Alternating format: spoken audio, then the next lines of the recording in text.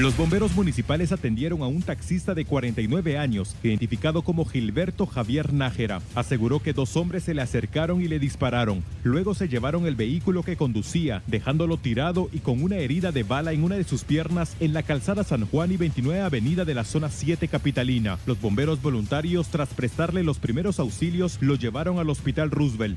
Sin embargo, existe otra versión contada por testigos. Aseguraron que fue un problema con el piloto de un pick-up.